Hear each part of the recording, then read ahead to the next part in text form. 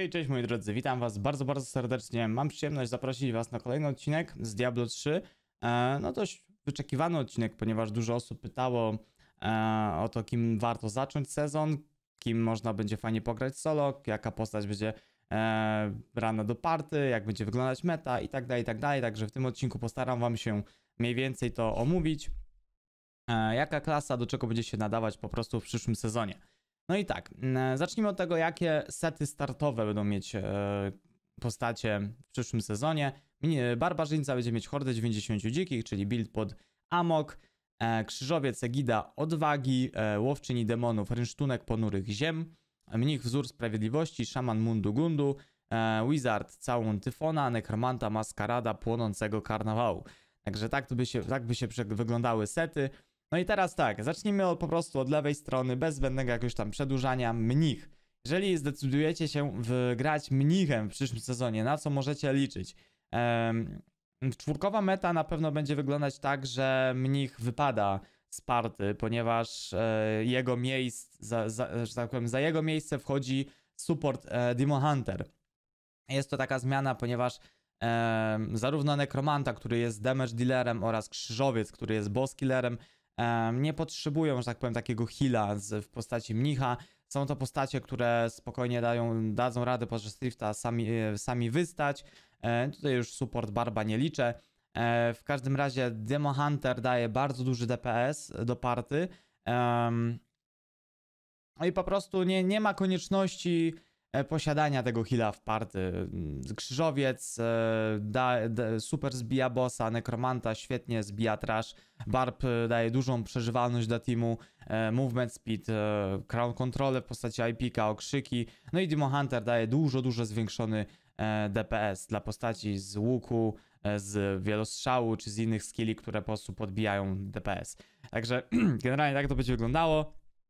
Czyli mam mnichem, e, możemy sobie pograć fajnie solo, pod porywistą szarżę, build jest świetny, z shellongami teraz, z tym nowym setem, także solówka świetna, set na start mamy bardzo dobry, e, będzie miał mnich bardzo fajny start, bo od razu będziecie, będziecie musieli jakiś tam poszczególnych legend, e, parę poszczególnych legend znaleźć, shellongi, które myślę, że szybko znajdziecie, no i no i w sumie to tyle. Mnich e, bardzo fajny start, no ale niestety jego przyszłość jest pod znakiem, e, znajduje się pod znakiem zapytania, ponieważ w party raczej brany nie będzie. Wypiera go, moi drodzy, krzyżowiec, ponieważ na PST graliśmy metą triplową, czyli support mnich, support dehacz i support barb i do tego był support e, z DPS nekromanta, także e, znacznie lepsza wersja tej mety wygląda tak, że gra się dy- supporta Dehacza, supporta Barba, Krzyżowca, e, Boss Killera i Nekromanta Trash Killer. Także moi drodzy, jeżeli ktoś jest fanem mnicha, śmiało może nim zacząć, będzie miał fajny start, ale raczej jest to postać, która e, no pogra sobie co najwyżej fajnie solo, bo do party, ani do speedów, ani do jakichś wyższych. Znaczy, jeżeli ktoś będzie na upartego leciał triplową metę, tak, o której już powiedziałem, no to spoko. To wtedy e, healer, monk jak najbardziej będzie ok, ale raczej raczej będą grać e, z krzyżowcem, z boss killerem, także tak to będzie, moi drodzy, wyglądało. E, Jeżeli chodzi o Demon Huntera, moi drodzy, świetny set na start. E, Set po- podgoda tak zwanego, czyli krę- kręciołek e, plus nienasycona strzała. Bardzo dobra postać na start, ponieważ ma fajny set, będzie mógł bardzo dobrze się rozwijać szybko na początku. Klucze też bardzo fajnie będzie można farmić. E, No i oczywiście do party się dostanie, tak? Czy to do dwójek, do trójek, do czwórek. Będzie meta, meta zawiera support dehacza, także budujecie pod supporta, jesteście w teamie, lecicie normalnie klucze, no, lecicie gemy, lecicie rekordy jakieś tam na początku, jakieś tam wyższe rifciki, także teamowo Demo Hunter swoje miejsce w party e, znajdzie. No i w sumie tyle. Solo też bardzo fajnie porobi, e, bo tak jak już mówię, ma właściwy set e, pod solówki, także myślę, że spokojnie sobie będzie dawał radę. E, No i w sumie tyle. Bardzo fajna postać na start. Także polecam dehaczem zacząć. Myślę, że spokojnie um, rozwiniecie swoje skrzydła tą postacią. No jeżeli chodzi o Barba, jeden z najlepszych wyborów w przyszłym sezonie, ponieważ e, Barb jak zwykle jest mega uniwersalny. Support Barb od dawien dawna jest brany do party. Czy to na speedy, czy to na pusze, czy to na whatever, co support barb jest. Także grając barba, gracie bezpiecznie, gracie pewnie, że się do party dostaniecie, nie musicie grać bardzo długo, bo support barb, barb nie potrzebuje mega paragonu, e, a zawsze jakieś tam miejsce dla niego się znajdzie, także jest to, jest to bardzo dobra postać, jeżeli chodzi o grę teamową. Natomiast jeżeli chodzi o początkowy set, średni. Ja nie, nie przepadam za tym setem pod amok, e, nie przekonał mnie osobiście, grając barbem na samym początku, e, szukacie setu pustkowi. Lecicie pustkowi i fru solo wtedy e, pod WW barba śmigacie. Em, także ten set może w, w miarę fajny na start, ale nie jest docelowy, tak? Od razu szukajcie pustkowi, jakichś bulkatosów, do jakichś szybkich riftów i wio do przodu. Em, no i w sumie tyle, jeżeli chodzi o Barba. E, bezpieczny gameplay, e, pewne miejsce w party, bardzo dobry start. Także tak to by wyglądało, bo i na Radmy się w e, support Barb ma miejsce i oczywiście w teamie. Jeżeli chodzi o Wizarda, moi drodzy, Wizard mega, mega znak zapytania był. E, teraz już nie jest, ponieważ e, co do Wizarda ludzie testowali Twistery, ludzie testowali Hydry. Zresztą ja też na streamie e, na PST coś tam tym Wizardem się bawiłem. No ale niestety e, Wizard nie będzie boss killerem, a ma, miałem nadzieję, że pod Hydry coś tam zdziała. No i nie będzie twisterem e, pod. Mm, nie będzie jako twister pod trash killera. Także w party miejsca Wizard nie znajdzie. E, na upartego ten boss killer jeszcze pos pod postacią Wizarda może być, ale to co najwyżej na jakieś gemapy, na jakieś niższe rifty, e, żeby tego bossa zbijać. Na pewno nie na nic wysokiego. Także no niestety Wizard Mimo, że buildy ma fajne, raczej pod wysoką teamówkę swojego miejsca nie znajdzie. E, solo, mm, jeżeli chodzi o solówki, no to tak jak już mówiłem, e, najlepszym buildem z tego, co udało mi się przeanalizować, był e, Twister pod legendy. Duża przeżywalność, w miarę spory damage. Dlaczego nie pod set Opus Magnum? Ponieważ e, pod legendy dużo większa przeżywalność jest, to raz Wizard jest w stanie ustać, a ten DPS uważam, że nie jest jakoś mega, mega mniejszy. E, nawet można powiedzieć, że porównywalny z setem, e, ale za to dużo większa przeżywalność. Jest tam dużo można więcej, dużo więcej legend e, umieścić w tym buildzie pod same legendy Twistera, żeby ten Wizard po prostu przeżywał. Także pod solo ubierać Wizarda troszeczkę się zejdzie, ale hydrami coś można na samym początku pośmigać. Jest e, na Discordzie u nas e, omówiony buildzik pod hydry, pod solo z tym setem właśnie, także e, na pewno ten buildzik, na buildzik na, start sobie znajdziecie. No i tak jak mówię, gra, grając Wizarda nie jest to moim zdaniem najlepszy wybór, ponieważ e, no, teamowo jest duży znak zapytania, to tylko z, myślę, że ze znajomymi, którzy, z którymi gracie for fun, to pogracie Wizardem w teamie. E, żadnych rekordów jakichś większych raczej z tą postacią nie ugracie. Jeżeli chodzi o krzyżowca, moi drodzy, set Egida e, odwagi, moi drodzy, set pod Furię Niebios, e, set, który jest najlepszy dalej w tym sezonie. E, build, który będzie, znaczy jest najlepszy. Będzie to konfiguracja boss killera. Po prostu krzyżowiec pod Furię Niebios, typowy boss killer.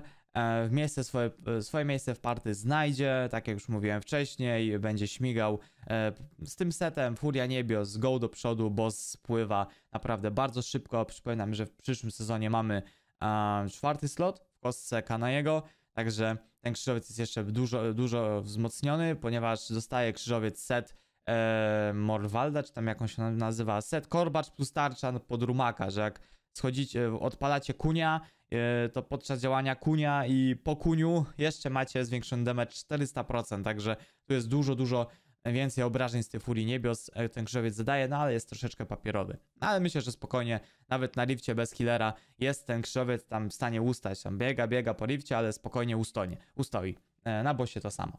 No i dobra, Także wybierając krzyżowca, bardzo dobry start, bo to jest dobry set na start. E, bardzo fajnie e, da, da sobie radę pod solo. E, tylko, że no nie, pod, nie taką pod typową konfigurację boss killerową. Uważam, że em, tutaj będzie raczej konfiguracja grana z jakimś świniobijem, może z młotem, e, z tym e, cepem, tym, o Jezu, Joany, pod, pod młotek, no coś takiego, ale raczej świniobi, tarcza i coś tam w kostce można umieścić. Na Discordzie ten build oczywiście będzie mm, omówiony pod solo. No i dobra, i tak by, tak by się miał krzyżowiec. E, party ma pewne miejsce, pod speedy oczywiście nie, e, bo to pod speedy to Ratmy, tylko Barb Necro. Także jako druga postać Krzyżowiec świetny wybór. Może nie na start od razu, żeby go robić, ale na pewno pod drugą postać e, bardzo, bardzo fajna, bardzo fajna opcja, nie? No, biedny szaman, Mundu Gundu, bardzo dobry trash killer. Mimo wszystko, moi drodzy, dostaje buffa, będzie mógł y, ten wykrywacz WO założyć na łapę, to jest 60% do duchowej nawałnicy, także jakiś tam opcjonalny boss, trash killer z szamana może być. Ale to tak jak już mówiłem, podobnie jak w przypadku Wizarda, z dobrymi znajomymi, bo oczywiście Necro tutaj będzie przewyższał go, jeżeli chodzi o trash killera, e, ale jakaś tam opcja na pewno, jeżeli chodzi, jeżeli chodzi o szamana jest. Em, do pogrania bardziej for fun, jakieś gemapy. O, na gemapy super. E, Super opcja, myślę, że do 130 będzie sobie spokojnie dawał radę. Szamanik, no i tyle, ale raczej jakieś najwyższe puszcze to tylko z Necro. Także spoko start na początek, bo duchowa nawałnica jest bardzo fajnym, szybkim buildem. Ten set e, oferuje szybką farmę na początku.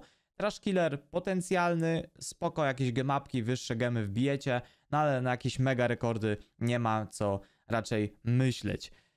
Dobra, no i nasz król, moi drodzy, moim zdaniem Nekromanta to jest królem, jest królem przyszłego sezonu, ponieważ e, będzie Ratmą, czyli Lodrany, e, DPS Necro, Support Necro, Paragon z miejsca macie wbity. Dostajecie cudowny set na start, pod, w, w, podwłócznie z kości, e, świetny build do farmienia, bardzo dobre solo będzie robił, Trash Killer, no super, naprawdę Nekromanta, moi drodzy, jest super opcją na start.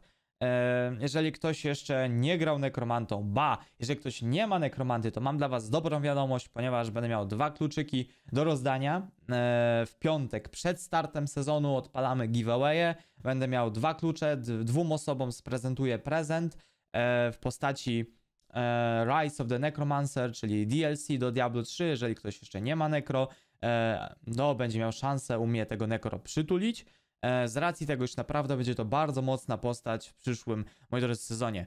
Pod party, super miejsce, pod solo bardzo wysoko, e, pod supporta, nawet jak ktoś mało gra, też będzie sobie dawał radę jako Zinekro, także no, moim skromnym zdaniem jest to najlepszy wybór, e, jeżeli chodzi o przyszły sezon, ponieważ wszędzie się nadaje do speedów, do, do gemapów, do, e, do pushu. Świetny. Build pod włócznie z kości, wymiata jako trash killer, e, pod solo świetnie sobie daje radę, pod party, pod speedy, e, load run, czyli load DPS, wszystko jest na Discordzie, moi drodzy, omówione. E, No i Zinekro też dla osób, które mniej grają w Diablo, miejsce dla nekromanty się znajdzie. Także moi drodzy, tak by to wyglądało, jeżeli chodzi o przyszły sezon. Starałem wam się, starałem wam się to bardziej tak ogólnikowo omówić, bez wnikania w szczegóły, w buildy. E, uważam, że mm, taki ogólny podgląd wam dałem na te postacie, czy jaka postać sobie będzie dawać radę w party, jak sobie będzie radzić w solo, e, czego mniej więcej szukać na sezon, na starcie sezonu. Także jeżeli macie jakieś pytanka, to oczywiście pisz- piszcie w komentarzach. E, Ja to jeszcze będę, moi drodzy, w czwartek dokładnie wam powtarzał, e, jeżeli będziecie mieli jakieś pytania na- streamie, także wpadajcie, wszystkie linki oczywiście w opisie, do Discorda, do Twitcha, do, e, do Facebooka macie jak zwykle pod live'em, e, w opisie pod filmem. No i w sumie tyle. Nie, nie będę wam tu dłużej przedłużał, więcej przedłużał, przepraszam. Myślę, że ogólnikowy taki pierwszy podgląd macie. W razie pytań, komentarze i jazda z tematem oczywiście będę odpowiadał. I tyle. Jeżeli Wam się podobał odcinek, zachęcam do zrzucenia, zrzucenia łapeczką w górę. E, jeżeli Wam się nie podobał, to oczywiście łapeczka w dół. No i zostawcie po sobie komentarz. Jeżeli jesteście tu nowi, zachęcam do subskrypcji kanału. Trzymajcie się, do zobaczenia. Cześć.